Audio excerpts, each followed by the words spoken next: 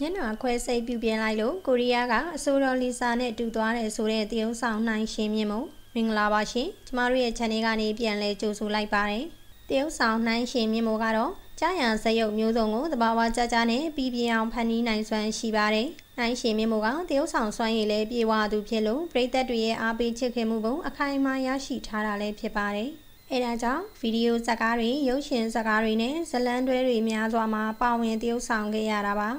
နိုင်ရှင်မြေမိုးက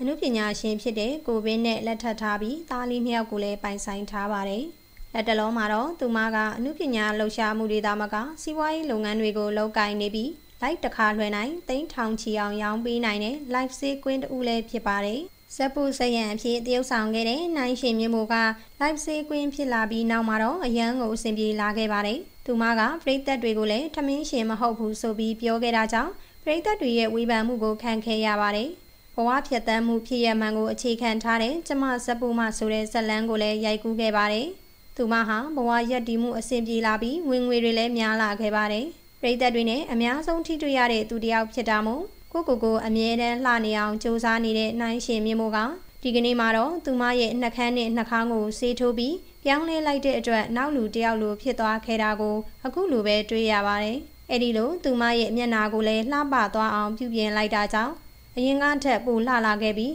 ကိုရီးယားကနာမည်ကျော်အဆိုတော်လီဆာနဲ့တူသွားတယ်လို့ဆိုထားပါတယ်။နိုင်ရှင်မြင့်မို့ရဲ့မျက်နာပြောင်းလဲမှုအသေးကြောင့်ပရိသတ်တွေကတော့အဆိုတော်လီဆာနဲ့မတူပဲအိုင်းရင်းစမာမြင့်နဲ့တူတယ်စူပန်ထွားနဲ့တူတယ်စသဖြင့်အမျိုးမျိုးမှတ်ချက်ပေးခဲ့ကြတာလည်းဖြစ်ပါတယ်။